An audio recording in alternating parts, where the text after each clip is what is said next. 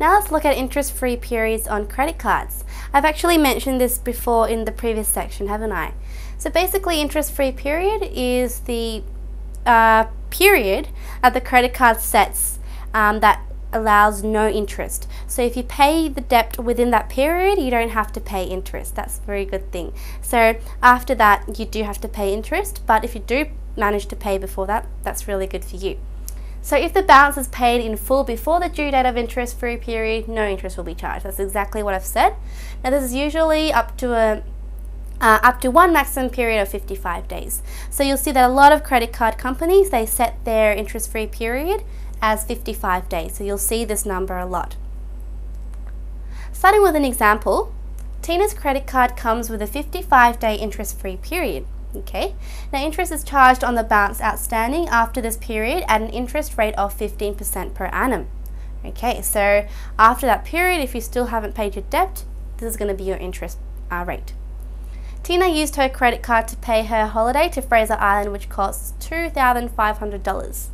She repaid $500 of this amount within the interest-free period and the balance after 75 days. So this girl, Tina, she wasn't able to pay back all her um, debt or her holiday fee within the 55 days, but she did manage to pay a proportion of it.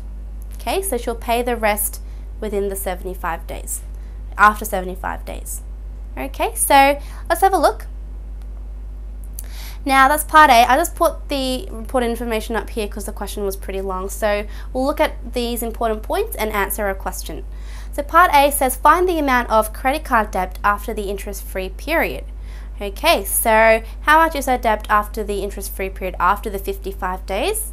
Well, it says she repaid $500 within the interest-free period. So basically it's asking what's the balance owing.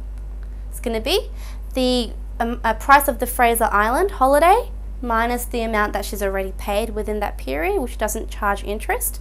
So $2,000 is her credit card debt that's left for her to pay. Okay, but unfortunately, on this amount, you will be, she will be charged interest. B, how much simple interest will she pay?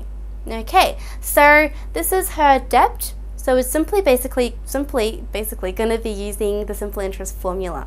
So interest is only calculated for the final 20 days as she was uh, she was only able to pay that much for the first 55 days, but because she paid the remaining debt within 75 days, basically that means she paid off her debt within the 20 days different, right?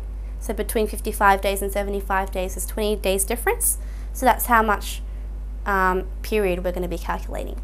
So use your interest, uh, simple interest formula, the $2,000 debt that we've got to pay back, which is the principal in this case, times our interest rate, but because we're only going to be charging interest for 20 days, days, we're going to change this to a daily rate. So change 15% uh, uh, into daily rate by dividing it by 365 and multiply it by the number of terms, which is going to be 20, 20 days. Okay, put that all into your calculator. You should get $16.44. Okay, pretty simple, I think. So have a look. Let's go to a question. Question 11 says Tim's credit card comes with a 55 day interest free period and the interest charged on the balance outstanding after this period at an interest rate of 19.25% per annum. Okay, so it's very similar style. Tim used his credit card to pay for his uh, pay for purchasing his computer, which cost $2,100. That's the price of the computer. Now he repaid $550 of this amount within the interest-free period and the remaining balance he paid it after 100 days. Okay, so again, Tim, he could not repay the whole amount that he need to repay within the interest-free period. But he did pay a portion of it and the rest after 100 days. Okay? So how are the important parts? And I'm just, I just put the important parts up here, so we'll refer to that as we do the question. So part A says find the amount of credit card debt after the interest-free period. Okay, well, that's the price of the computer that he bought and he repaid 550 within the interest-free period. So what's the amount of debt that's remaining? Simply going to be that minus the amount that we've paid, so that much is left over for us to be, for Tim to pay, okay? But unfortunately, on this amount, interest is going to be charged. How much simple interest will he pay? Okay, how much simple interest? Well, we're going to be using our simple interest formula again, but calculate how many, how many days, how many, what's the period?